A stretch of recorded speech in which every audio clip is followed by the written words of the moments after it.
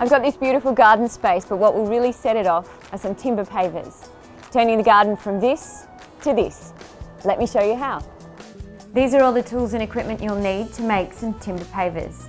The best thing about this project is there are no hard and fast rules, so you can make it to any size that you like.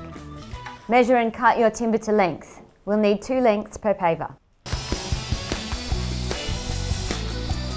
Clamp your two pieces of timber together.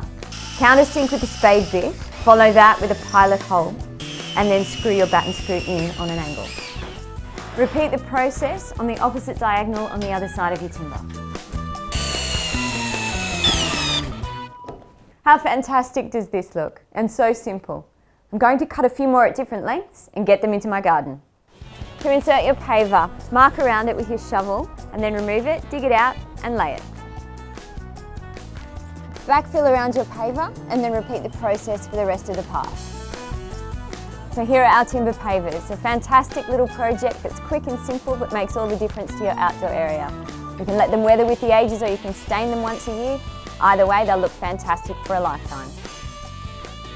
Turning my garden from this to this.